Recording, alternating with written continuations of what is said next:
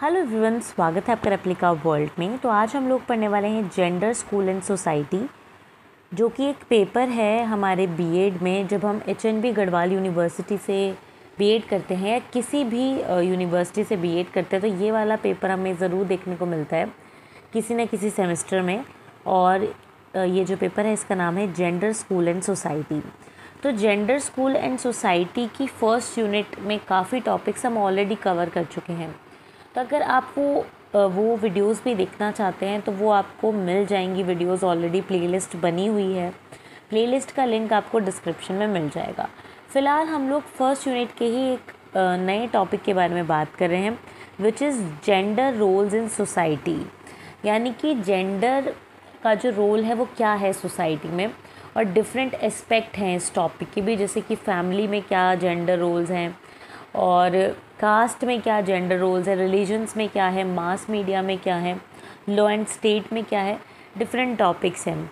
तो हम इसको छोटे छोटे पार्ट्स में कवर करेंगे।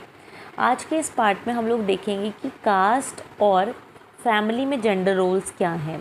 क्योंकि हम एक लेक्चर में इसको कवर नहीं कर सकते बिकॉज़ ये एक बड़ा टॉपिक है। तो आज हम इसका पार्ट वन पढ़ने वाले हैं, जिसमें हम फैमिली और कास्ट में क्या रोल होता है जेंडर का। वो देखेंगे। तो चलिए शुरू करते हैं सबसे पहले समझते हैं फैमिली में क्या रोल होता है। बहुत सारी चीज़ें हैं। ये एक ऐसा टॉपिक है जिसमें आप अपने थॉट्स भी डाल सकते हैं, जो आपको जानकारी है समाज के बारे में। जो चीज़ें आप जानते हैं, ये कॉमन चीज़ें हैं, ठीक है? बस उसको आपको एक सही लैंग्वेज में पिरोना है।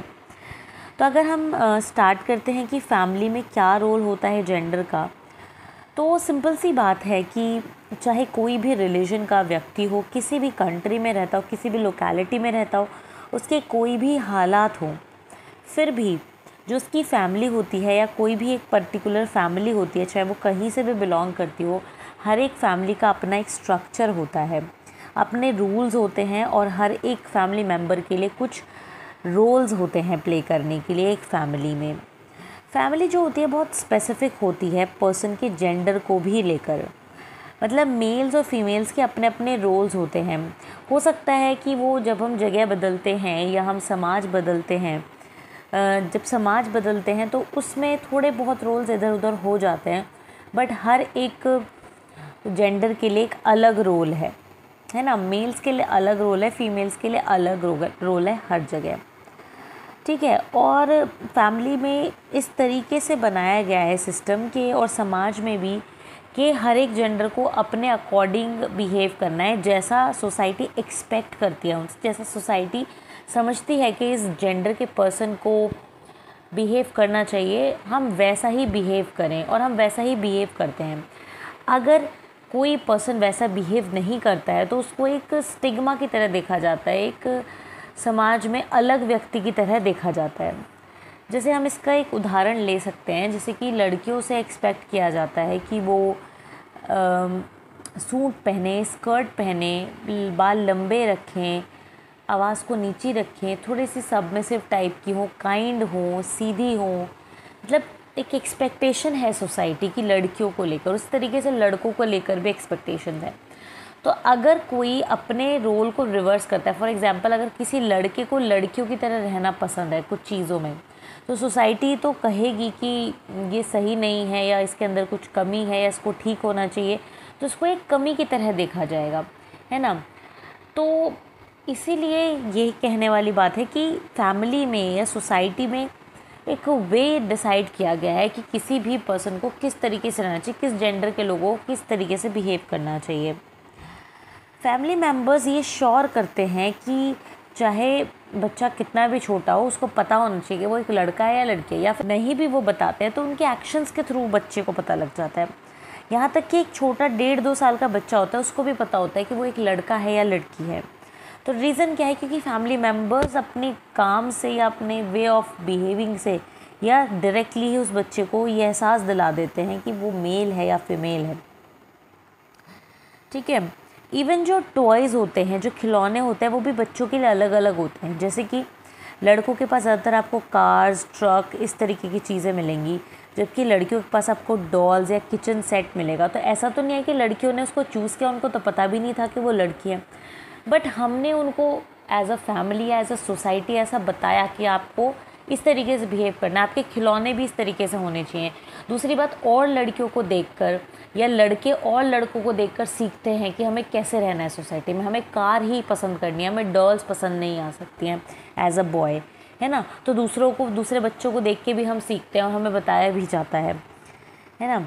इसके बाद अगर हम कपड़ों की बात करें, बात करने की बात करें या फिर बैठने की बिहेव करने की बात करें तो ये भी सब प्री डिसाइडेड है कि कौन सी चीज़ें बॉयज़ को अलाउड है, कौन सी चीज़ें गर्ल्स को अलाउड है। जैसे लड़कियों को ऐसे अजीब तरीके से बैठना या खड़े होना या चलना अलाउड नहीं है। एक सर्टेन वे में उनको चलना है या बैठना है या बात करनी है। लड़के किसी भी तरीके से बैठ सकते हैं, किसी भी टाइम घर से बाहर जा सकते हैं, जो उनका मन है वो कर सकते हैं। तो ये सोसाइटी ने या फैमिली ने डिसाइड किए हुए हैं चीज़ें। कपड़ों की बात करें तो वही है कि लड़कियों को एक सर्टेन तरीके से कपड़े पहनने होते हैं और लड़कों को अलग तरीके से। अब ऐसा नहीं है बहुत सारी लड़कियाँ लड़कों की तरह भी ड्रेसअप करते हैं बट उनको टॉम बॉय बोला जाता है उनको भी एक तरीके से एबनॉर्मल ही समझा जाता है कुछ केस मतलब कि कुछ वे में।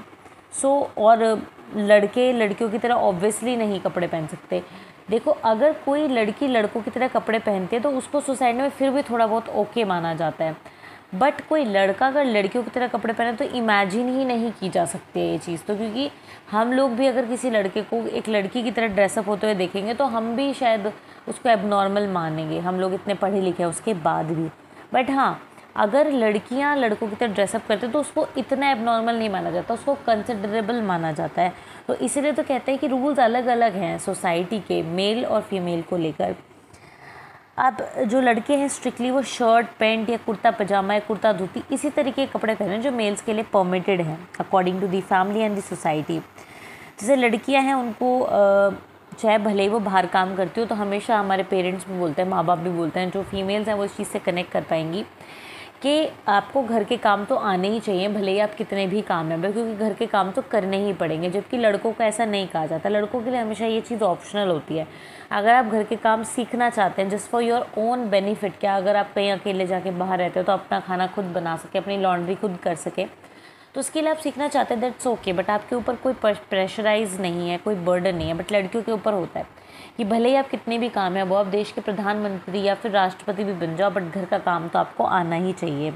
तो ये भी क्या, एक प्रिजुडाइज है, एक मतलब रूल है फैमिली का सोसाइटी का, जो कि मेल्स और फीमेल्स के लिए अलग अलग है। दूसरा लड़कों को बोला जाता है कि आप ऐसे घर पे नहीं बैठ सकते, आपको बाहर की चीज़ों की नॉलेज होनी चाहिए तक, ताकि बाहर की चीज़ों को फेस कर सकते आपको बोल्ड होना चाहिए, आपको कमाना है, आप घर नहीं बैठ सकते, ठीक है? कभी ऐसा आपने बहुत कम देखा होगा कि मेल्स ना कमाए, उनकी वाइफ्स जो है वो कमाए, है ना? ऐसा बहुत कम होता है होता है बट बहुत कम होता है। यूजुअली मेल्स तो नौकरी करते ही हैं, क्योंकि उनको लगता है कि सोसाइटी क्या कहेगी, है ना? और ऐसा बोलते हैं कि फ़ीमेल्स को एडजस्टिंग होना चाहिए, जबकि मेल्स को बोल्ड होना चाहिए। फैमिली मेंबर्स भी इस चीज़ को लेकर कॉन्शियस होते हैं कि फ़ीमेल्स जो हैं सेफ़ रहें सेफ्टी हो फीमेल्स की और ये रिस्पॉन्सिबिलिटी मेल्स को दी जाती है। तो इस तरीके कुछ फैमिली और जेंडर से रिलेटेड ये कुछ चीज़ें थी। अब हम बात करेंगे कास्ट और जेंडर रोल्स का क्या रिलेशन है क्या क्या चीज़ें हैं। बहुत सारी चीज़ें हैं, इसमें भी बहुत सारी परतें हैं।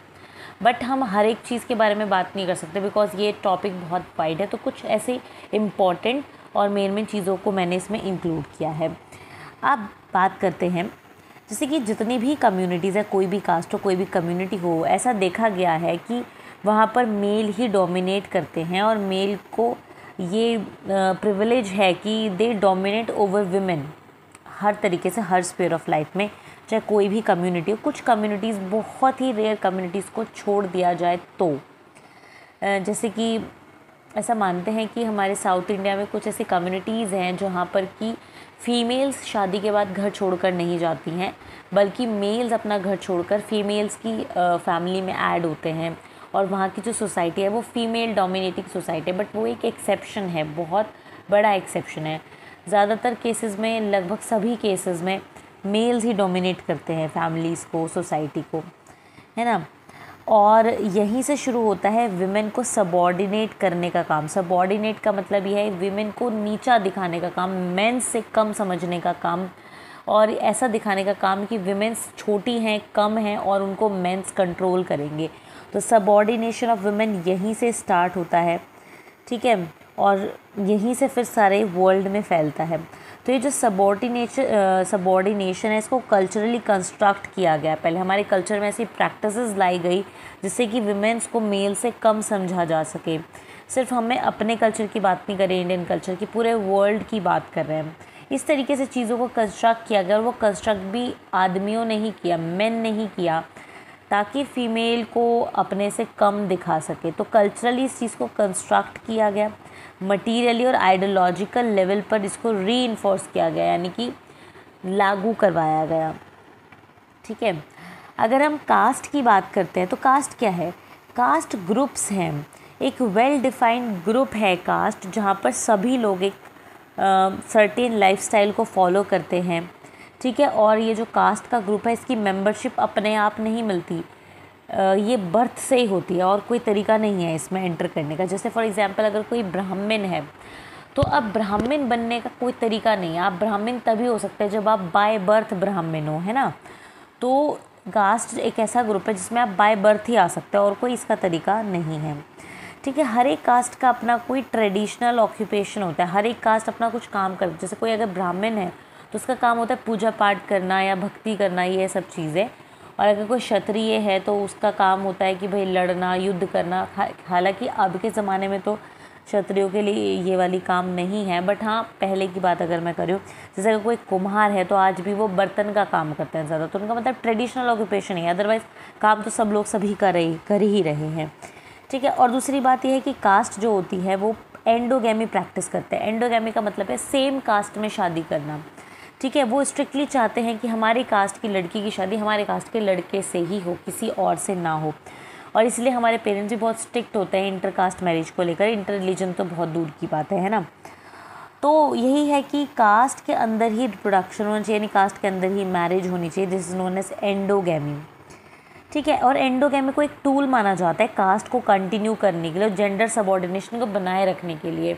मतलब कि कास्ट को जो भी है हमारी कंटिन्यू रहे और अगर कोई ब्राह्मण है तो वो ब्राह्मण ही रहे, किसी और कास्ट का मिक्सचर ना हो। और वुमेंस को भी एक उसी लेवल पर बनाए रखना मेन से नीचे उसके लिए भी ज़रूरी है। फॉर एग्ज़ाम्पल अगर किसी थोड़ी नीचे कास्ट के लड़के ने किसी ऊँची क्लास कास्ट की लड़की से शादी की तो फिर वो दब के नहीं रहेगी उससे तो वो सबॉर्डिनेशन भी ख़त्म होता है। है ना? तो ये सब चीज़ें मेंटेन करने के लिए भी और कास्ट की प्योरिटी को मेंटेन करने के लिए भी एंडोगेमी बहुत ज़्यादा ज़रूरी है, यानी सेम कास्ट में मैरिजेस रहना, होना बहुत इंपॉर्टेंट है। ठीक है? और ये जो रूल ऑफ़ मैरिज है, इसी से ही जो कास्ट है वो कंटिन्यू होती है और प्योरिटी जो है कास्ट की बनी रहती है। और इसको सेफ़ गार्ड करने के लिए पहले विमेंस को सेफ़ गार्ड किया जाता है उनके मूवमेंट को रिस्ट्रिक्ट किया जाता है। कहीं ऐसा तो नहीं कि ये जो हमारी कास्ट की वुमेन है ये किसी और कास्ट के पर्सन से किसी और कास्ट के मेल से शादी कर ले। इस बात का पूरा ध्यान रखा जाता है बिकॉज़ ऐसा माना जाता है कि women's are the gate ways women's ही वो रास्ता है जिसके थ्रू कोई भी किसी कास्ट सिस्टम में एंटर कर सकता है। जैसे कि अगर आ, कोई फीमेल किसी अपर कास्ट के मेल से शादी करती है तो फिर उस फीमेल का एक तरीके से माना जाता है कि फ़ायदा है, क्योंकि उस वो अपर कास्ट में एंटर कर गई। अगर कोई फीमेल किसी लोअर कास्ट मेल से शादी करती है तो फिर वो जो लोअर कास्ट मेल है, उसको एक गेट वे मिल गया वो अपर कास्ट में आने का, है ना? तो वुमेंस को एक गेट वे माना जाता है, एक कास्ट सिस्टम में एंटर करने का। ठीक है? तो इसलिए कास्ट की प्योरिटी को श्योर करने के लिए देखा जाता है कि वुमेंस जो है अपनी कास्ट में ही शादी करें। अब जैसे कि कास्ट ब्लड जो होता है, उसको बायलेटरल माना जाता है, या हमेशा वो बायलेटरल होता है मतलब कि जो एक पर्सन है, उसको दोनों तरह से, दोनों पेरेंट्स की क्वालिटीज़ मिलती हैं, है ना? तो दोनों पेरेंट्स सेम कास्ट के होंगे तो कास्ट की जो प्योरिटी है, वो बनी रहेगी। अगर अलग अलग कास्ट के होंगे तो वो, जो कास्ट ब्लड है, वो मिक्स मिक्स हो जाएगा तो वो जो पर्सन है, जो नया इंडिविजुअल है, जो उनका बच्चा है, वो भी एक मिक्सचर होगा, जो कि एक्सेप्ट नहीं किया जाता है आज तक भी। ठीक है, और अगर यहाँ पे ये बात चली रही है तो अनुलोमा और प्रतिलोमा के बारे में भी हमें बात करनी चाहिए। ये एक कंसेप्ट है बहुत, जो पुराने समय से चला आ रहा है। अनुलोमा प्रतिलोमा का क्या मतलब है? इसका मतलब ये है कि जैसे अगर कोई लड़का है जो कि अपर कास्ट का है, अगर वो एक लोअर कास्ट की लड़की से शादी करता है तो उसको सोसाइटी अप्रूव कर देती है कास्ट भी अप्रूव कर देती है।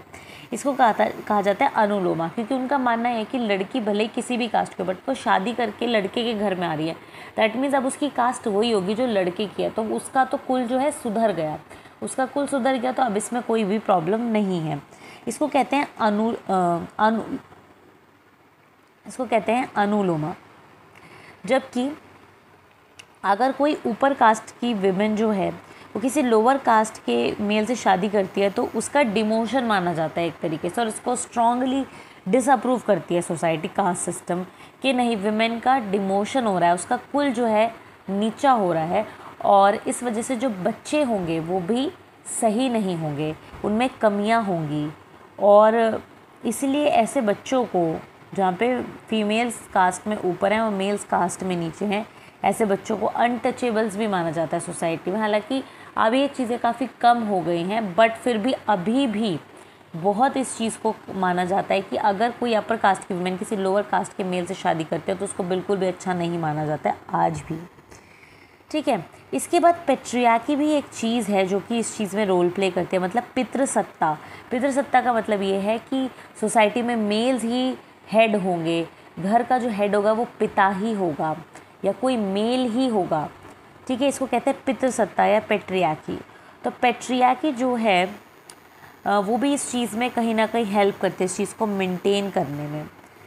ठीक है, अब देखो, हमें पता ही है कि इसी वजह से जो मेन होते हैं, वो ज़्यादा पावर इन्जॉय करते हैं, जबकि विमेंस जो है थोड़ी सी लोअर पोजीशन पे देखने को मिलती हैं। ठीक है, और बहुत सारी विमेन ज़्यादातर वुमेंस इस चीज़ को एक्सेप्ट भी कर लेती हैं। और साथ साथ में एक बात हो रही है कि विमेंस को किसी भी कम्युनिटी का ऑनर माना जाता है और उनके साथ कुछ भी गलत होना है, उनको कुछ गलत बोलना, अपना अपना अपमान माना जाता है। ठीक है? और इसी डोमिनेंस की वजह से, इसी पेट्रियाकल प्रैक्टिसेस की वजह से वुमेंस जो हैं अब इस चीज़ पर बात भी कर रही हैं, है ना? तो और भी हम बहुत सारी चीज़ें हैं जो कि हमें इसमें टच करनी चाहिए इस टॉपिक में। जैसे कि जो वुमेन है उसका शादी करना ना करना एक कास्ट के स्टेटस से जोड़ा जाता है कि जितनी ज़्यादा हायर रैंक होगी किसी कास्ट की, उतना ज़्यादा वुमेन को और भी अच्छा और आइडियल होना चाहिए। देखिए, ये जो चीज़ें हैं, मैं ये नहीं कहती कि सिर्फ़ हिंदू समाज में है, ये सभी समाजों में है। बट जहाँ से मैंने ये टॉपिक पिक किया है, वो एक वो उस राइटर का जो मैं यहाँ पे आपको बताने जा रही हूँ, ये उस राइटर का व्यू है, जो उसने एक एग्ज़ाम्पल लेके समझाया। अदरवाइज़ मैं और भी एग्जाम्पल्स आपको इसमें दूँगी। जैसे यहाँ पे एक एग्ज़ाम्पल दिया हुआ है ब्राह्मण का, कि जो ब्राह्मण ब्राइड्स हैं, वो वर्जिन होनी चाहिए, ठीक है? और वो अपने हस्बैंड को लेके फेथफुल होनी चाहिए, ठीक है? और अगर विडो भी हैं वो तो वो दोबारा शादी नहीं कर सकती, उनको वैसे ही जीवन बताना होगा या जो भी सर्टेन रूल्स हैं एक विधवा को फॉलो करने चाहिए, जैसे किसी फ़ंक्शन में नहीं जाना है, किसी शुभ काम में नहीं जाना है, वो सब चीज़ें उसको निभानी होगी, चाहे फिर वो ज़िंदगी किसी भी पड़ाव पे, चाहे उसने अपनी, अभी ज़िंदगी की नई शुरुआत ही की थी, अगर उसके साथ कुछ गलत हो जाता है सपोज़ कि अगर उसका हस्बैंड नहीं रहता है, वो विधवा हो जाती है विडो हो जाती है, फिर भी उसको वैसी ज़िंदगी जीनी होगी, जो एक विडो जीती है है ना? तो इस तरीके से है तो मतलब जितनी ज़्यादा हायर कास्ट हो, उतना ज़्यादा इन चीज़ों को बहुत ही माना जाएगा। अब जैसे कि अगर कोई बड़ी कास्ट की विमेन है तो वो अपने हस्बैंड को लेके फेथफुल रहे। जबकि अगर कोई स्वीपर की ब्राइड है तो वो अगर वर्जिन नहीं भी एक्स्ट्रा मैरिटल अफेयर भी उसका है तो उसको टॉलरेट किया जा सकता है। और विडो और डाइवोर्स की दोबारा शादी भी हो सकती है बट अपर कास्ट में ऐसा नहीं होता। तो मतलब ये राइटर का व्यू है, पहले ऐसा होता था।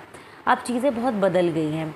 अब जैसे कि बहुत सारे ऐसे भी हमारे, अभी हालाँकि कास्ट की बात चल रही है रिलीजन की बात नहीं चल रही है बट और भी जो रिलीजन्स हैं, उसमें भी वुमेंस को बहुत ही निचले दर्जे से देखा जाता है।